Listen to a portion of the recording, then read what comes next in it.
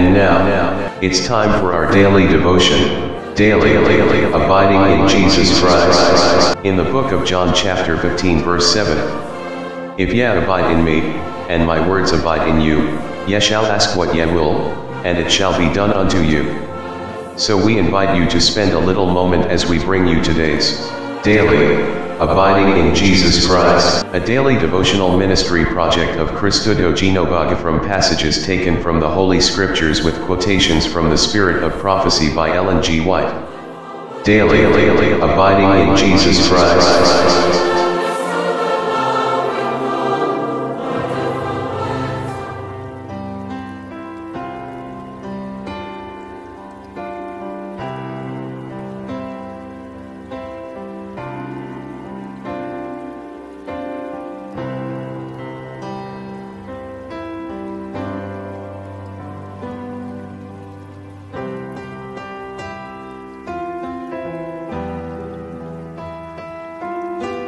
May 26, 2020. Matthew 7 verses 13 to 14. Verse 13. Enter ye in at the strait gate, for wide is the gate, and broad is the way, that leadeth to destruction, and many there be which go in thereat. 14. Because strait is the gate, and narrow is the way, which leadeth unto life, and few there be that find it. Quotation from the Spirit of Prophecy. The path which I have set before you, Jesus said, is narrow, the gate is difficult of entrance, for the golden rule excludes all pride and self-seeking.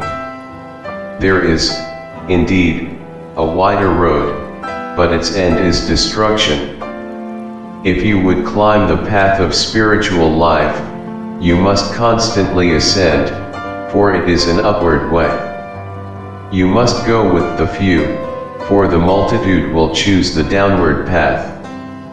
In the road to death the whole race may go, with all their worldliness, all their selfishness, all their pride, dishonesty, and moral debasement. There is room for every man's opinions and doctrines, space to follow his inclinations, to do whatever his self-love may dictate. In order to go in the path that leads to destruction, there is no need of searching for the way, for the gate is wide, and the way is broad, and the feet naturally turn into the path that ends in death. But the way to life is narrow and the entrance strait. If you cling to any besetting sin you will find the way too narrow for you to enter. Your own ways, your own will, your evil habits and practices, must be given up if you would keep the way of the Lord. He who would serve Christ cannot follow the world's opinions or meet the world's standard. Heaven's path is too narrow for rank and riches to ride in state, too narrow for the play of self-centered ambition, too steep and rugged for lovers of ease to climb.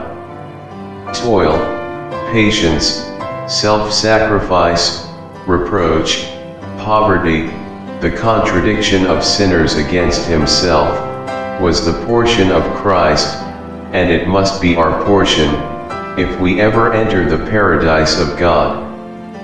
By Ellen G. White Mount of Blessings, pages 138, 139.